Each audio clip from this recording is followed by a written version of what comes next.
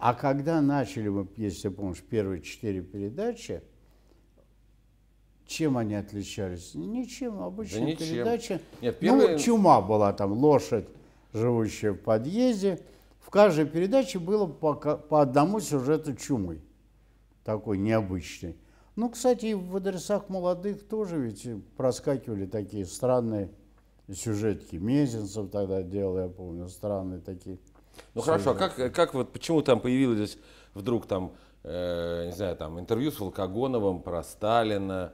Вдруг? это- С чего это вдруг? Это все тот же период. Пусть- это, это, это где-то Саня, через это месяц, время через было. два после Да, про- это время было. Просто мы попали, ну вспомни, ноябрь 87 года. Мы попали, ну вот, как говорится, в самое начало, на старте. Старт. И мы побежали, как все побежали.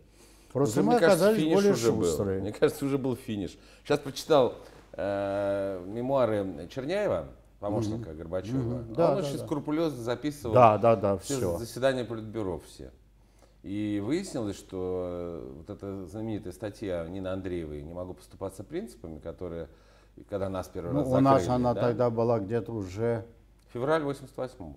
Да, это полгода мы уже работали, да. И когда нас первый раз убрали, Да. и когда редакция за нас начала бороться, вот когда мы там сидели с телефонами, значит, как сопричастность, и там нам, мы делали какие-то там телемосты молодежные, что-то на другом канале. И я почитал, я понял, что, ну, по его, по крайней мере, воспоминаниям, что это вообще был серьезнейший кризис в Политбюро, когда Горбачев впервые понял, что его ближайший, его соратник, которого он привел, э, Егор Легачев, он его как бы уже там начинает против него Ты понимаешь, в чем дело? Э, Я то же самое прочитал очень внимательно Черняева, все, что можно было. А, и даже его воспоминания, все равно мы все правду мы не знаем. Ну, это, конечно. И думаю, никогда не узнаем. У меня были разговоры с Александром Николаевичем. Никогда не узнаем. А, Думаю, что даже долгие-долгие годы, если мы сейчас радуемся, что вчера открылись воспоминания наших начальников о событиях июня 41 года, ну, значит, пройдет еще лет 80, и мы узнаем, что было. Было ясно, что наверху да и уже вниз спускалась. Так дальше жить нельзя.